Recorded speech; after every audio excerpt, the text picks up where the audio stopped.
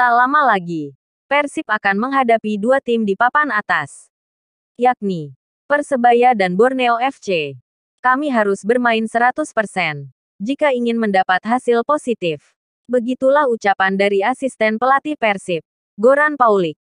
Sejak kemarin, Persib telah menjalani latihan tertutup di Stadion Persib, Sidolik, Bandung.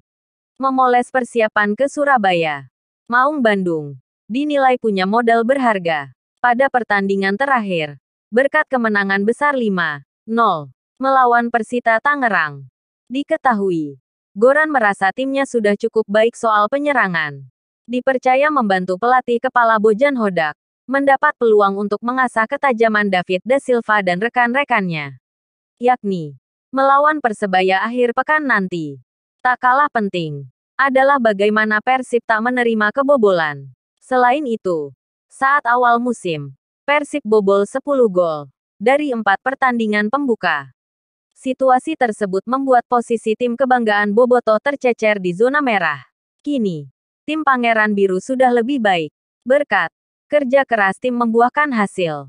Persib mampu bangkit dan bercokol di peringkat ketiga klasemen.